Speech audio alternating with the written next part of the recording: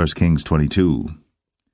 And they continued three years without war between Syria and Israel. And it came to pass in the third year that Jehoshaphat the king of Judah came down to the king of Israel. And the king of Israel said unto his servants, Know ye that Ramoth and Gilead is ours, and we be still, and take it not out of the hand of the king of Syria? And he said unto Jehoshaphat, Wilt thou go with me to battle to Ramoth Gilead? And Jehoshaphat said to the king of Israel, I am as thou art, my people as thy people, my horses as thy horses. And Jehoshaphat said unto the king of Israel, Inquire, pray thee, at the word of the Lord today. Then the king of Israel gathered the prophets together, about four hundred men, and said unto them, Shall I go against Ramoth Gilead to battle, or shall I forbear? And they said, Go up, for the Lord shall deliver it into the hand of the king. And Jehoshaphat said, Is there not here a prophet of the Lord besides, that we might inquire of him? And the king of Israel said unto Jehoshaphat, There is yet one man, Micaiah the son of Imlah, by whom we may inquire of the Lord. But I hate him, for he doth not prophesy good concerning me, but evil. And Jehoshaphat said, Let not the king say so. Then the king of Israel called an officer, and said, Hasten hither Micaiah the son of Imlah. And the king of Israel and Jehoshaphat the king of Judah sat each on his throne, having put on their robes in a void place in the entrance of the gate of Samaria. And all the prophets prophesied before them. And Zedekiah the son of Chenaanah made him horns of iron, and he said, Thus saith the Lord, With these shalt thou push the Syrians until thou have consumed them. And all the prophets prophesied so, saying, Go up to Ramoth Gilead, and prosper, for the Lord shall deliver it into the king's hand. And the messenger that was gone to call Micaiah spake unto him, saying, Behold now, the words of the prophets declare good unto the king with one mouth. Let thy word, I pray thee, be like the word of one of them, and speak that which is good. And Micaiah said, As the Lord liveth, what the Lord saith unto me, that will I speak.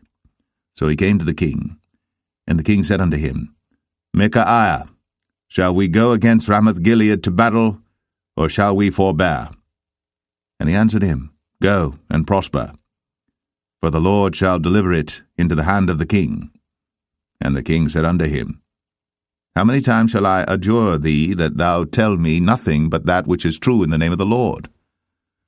And he said, I saw all Israel scattered upon the hills, as sheep that have not a shepherd. And the Lord said, These have no master. Let them return every man to his house in peace. And the king of Israel said unto Jehoshaphat, Did I not tell thee that he would prophesy no good concerning me, but evil. And he said, Hear thou therefore the word of the Lord. I saw the Lord sitting on his throne, and all the host of heaven standing by him on his right hand and on his left. And the Lord said, Who shall persuade Ahab that he may go up and fall at Ramoth Gilead? And one said on this manner, and another said on that manner. And there came forth a spirit, and stood before the Lord, and said, I will persuade him. And the Lord said unto him, Wherewith? And he said, I will go forth, and I will be a lying spirit in the mouth of all his prophets. And he said, Thou shalt persuade him, and prevail also. Go forth and do so. Now therefore, behold, the Lord hath put a lying spirit in the mouth of all these thy prophets, and the Lord hath spoken evil concerning thee. But Zedekiah the son of Chenaanah went near, and smote Micaiah on the cheek, and said, Which way went the Spirit of the Lord from me to speak unto thee? And Micaiah said, Behold, thou shalt see in that day, when thou shalt go into an inner chamber to hide thyself. And the king of Israel said, Take Micaiah, and carry him back unto Amon, the governor of the city, and to Joash the king's son, and say, Thus saith the king, Put this fellow in the prison, and feed him with bread of affliction and with water of affliction, until I come in peace. And Micaiah said, If thou return at all in peace, the Lord hath not spoken by me. And he said, Hearken, O people, every one of you. So the king of Israel and Jehoshaphat the king of Judah went up to Ramoth Gilead. And the king of Israel said unto Jehoshaphat, I will disguise myself, and enter into battle. But put thou on thy robes. And the king of Israel disguised himself, and went into the battle. But the king of Syria commanded his thirty and two captains that had rule over his chariots, saying, Fight neither with small nor great, save only with the king of Israel. And it came to pass, when the captains of the chariots saw Jehoshaphat, that they said, Surely it is the king of Israel. And they turned aside to fight against him. And Jehoshaphat cried out. And it came to pass, when the captains of the chariots perceived that it was not the king of Israel, that they turned back from pursuing him. And a certain man drew a bow at a venture, and smote the king of Israel between the joints of the harness. Wherefore he said unto the driver of his chariots, Turn thy hand and carry me out of the host, for I am wounded.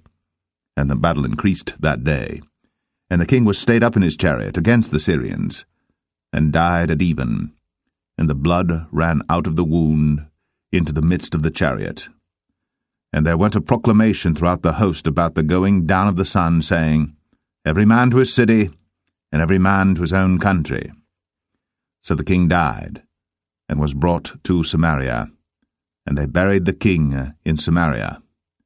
And one washed the chariot in the pool of Samaria, and the dogs licked up his blood, and they washed his armour, according unto the word of the Lord which he spake.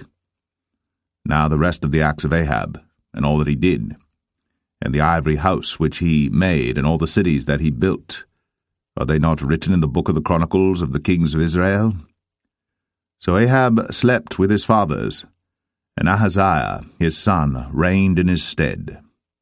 And Jehoshaphat the son of Asa began to reign over Judah in the fourth year of Ahab king of Israel. Jehoshaphat was thirty and five years old when he began to reign, and he reigned twenty and five years in Jerusalem.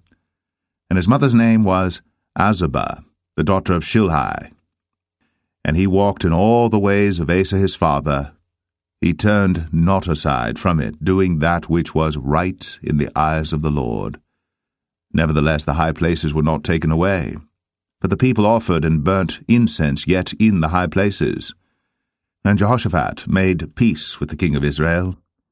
Now the rest of the acts of Jehoshaphat, and his might that he showed, and how he warred, are they not written in the book of the Chronicles of the kings of Judah?